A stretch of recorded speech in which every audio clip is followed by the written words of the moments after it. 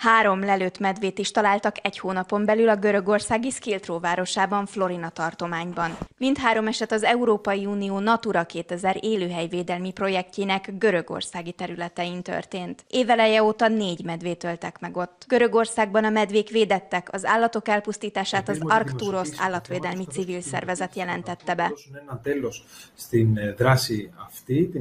Azzal, hogy nyilvánosságra hoztuk, ami történt, és értesítettük a hatóságokat, véget szeretnénk vetni ennek a bűncselekmény sorozatnak. Helyes, hogyha ezek nem maradnak büntetlenül, és a tettesek, akik a görög és európai törvények által védett állatokat gyilkolnak, kénytelenek abba hagyni ezt.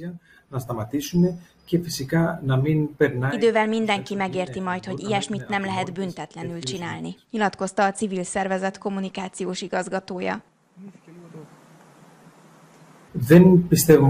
A medvék megölése önmagában nem a félelemről szól. Megelőzésnek tekintik, hogy megvédjék a veteményt és az állatállományt, és ez még zavaróbb és dühítőbb, tette hozzá a civil szervezet szóvivője. Az Arcturus szerint a három megölt medve közül az egyik még szoptatós volt, ami azt is jelenti, hogy a bocsai árván maradtak. Jorgos Amirász energia- és környezetvédelmi miniszter helyettes közleményben ítélte el a történteket. A minisztérium mindenben együttműködik a rendőrséggel, hogy megoldja az ügyet. Minden erőnkkel azon vagyunk, hogy az Arcturosszal együttműködve megvédjük a vadon élő emlős populációt. Az Arcturus több görög és külföldi szervezettel dolgozik együtt.